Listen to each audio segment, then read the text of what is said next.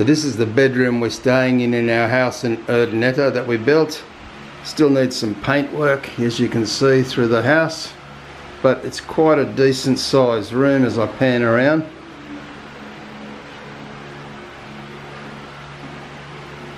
And the bed there is quite comfortable.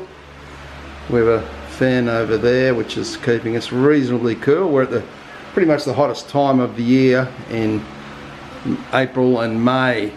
Uh, gets quite warm here in Pangasinan as it does throughout the Philippines. And as we come through here, we have a door into the ensuite. Now this ensuite will be a bit different to what most of you guys are used to in foreign countries. So initially it looks very similar. We have a toilet there. We have the basin and the shower area which doesn't have any noticeable shower. I'll explain that in a moment. We still need to finish off the tiles. We just actually just bought some more tiles today so we're waiting on the guy to come and he'll tile the rest of this and then when we paint we'll paint up high on the higher areas as well. So as far as a shower goes that's how we have our shower with a bucket and scoop. So we literally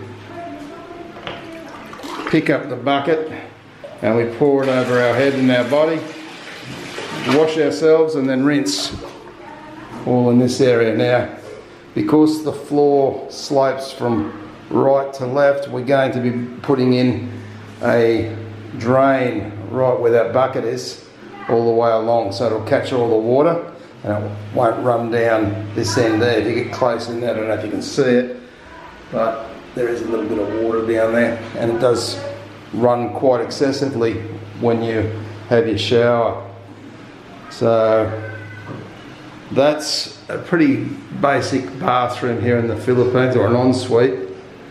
Um, you can you can get running water on in these places. You can get toilets that also flush properly. This one doesn't. Again, if we use the toilet, we use the bucket and scoop and we pour it down the toilet to get rid of whatever's in there.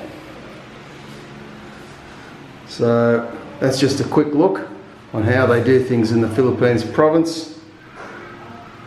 Don't forget to comment, like, subscribe, and we'll see you in the next video. Thanks for watching.